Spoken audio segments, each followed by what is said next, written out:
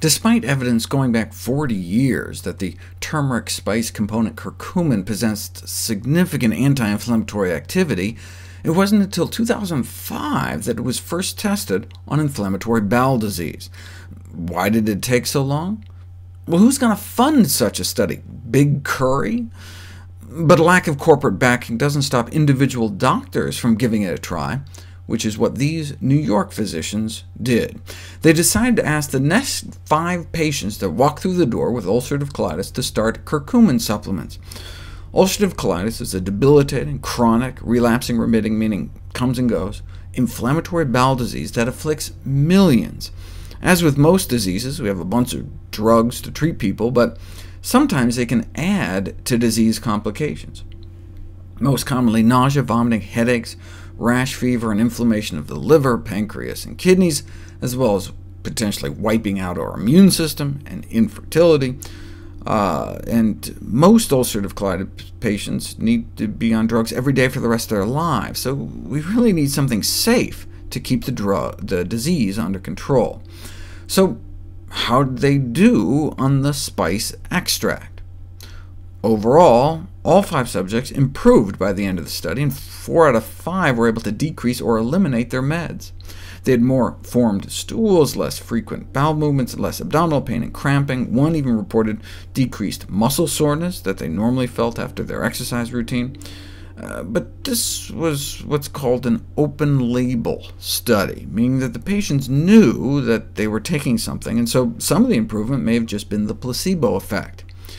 In 2013, another small open-label pilot study found encouraging results in a pediatric population, but what was needed was a larger-scale, double-blind, placebo-controlled trial, and here we go.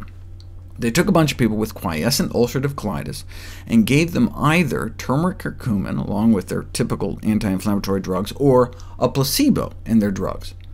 In the placebo group, 8 relapsed out of 39, meaning their disease flared back up.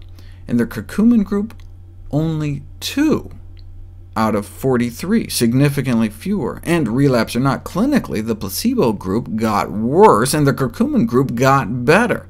And endoscopically, uh, objectively visualizing the inside of their colons, the same thing, a trend towards worse or better.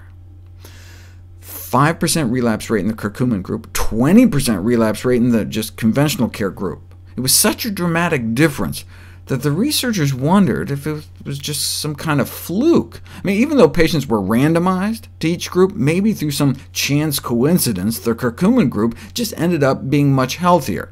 And so maybe it was some freak occurrence rather than curcumin that accounted for the results. So what they did was they extended the study another six months, but put everyone on placebo. So they stopped the curcumin to see if they'd then start relapsing too, and that's exactly what happened. All of a sudden, they became just as bad as the sugar pill group. Conclusion. Curcumin seems to be a promising and safe medication, no side effects at all reported, for maintaining remission in patients with quiescent ulcerative colitis. So, curry for the cure? Asked an accompanying editorial in the Journal of the Crohn's and Colitis Foundation of America. Can curcumin be added to our list of options with respect to maintaining remission in ulcerative colitis? What is noteworthy, as I mentioned, is the fact that not only did the authors demonstrate a statistically significant decrease in relapse at six months, but a statistically significant improvement in the endoscopic index as well.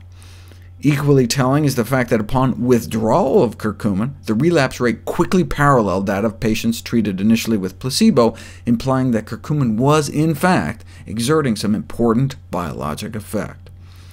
That's the same thing a Cochrane review concluded in 2013 may be a safe and effective adjunct therapy. Uh, Cochrane reviews take all the best studies meeting strict quality criteria and compile all the best science together, uh, normally a gargantuan undertaking, but not in this case, as there's really just that one good study.